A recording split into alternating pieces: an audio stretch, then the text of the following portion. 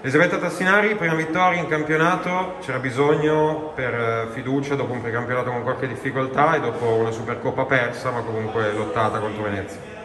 Sì, è stata una super vittoria al Cardiopalma, quindi un inizio eh, in salita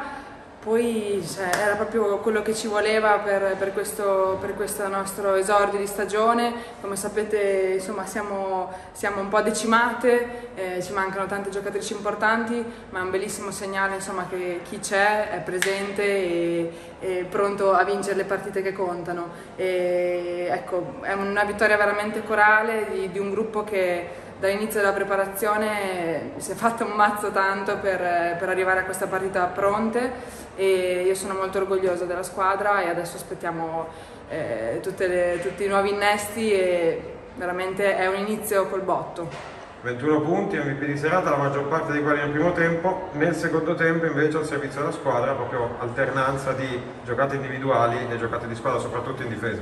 Sì, certo, per me è andata, è andata molto bene, eh, le mie compagne mi hanno cercata, mi hanno trovata e ho realizzato, però insomma, come dici, eh, io veramente parto sempre dalla difesa e mi concentro ehm, nel fare le piccole cose che servono alla squadra, poi se in attacco va bene ancora meglio, però ecco come appunto abbiamo detto eh, sono pronta a difendere e a dare una mano continuamente alle mie compagne di squadra, poi prendo quello che viene.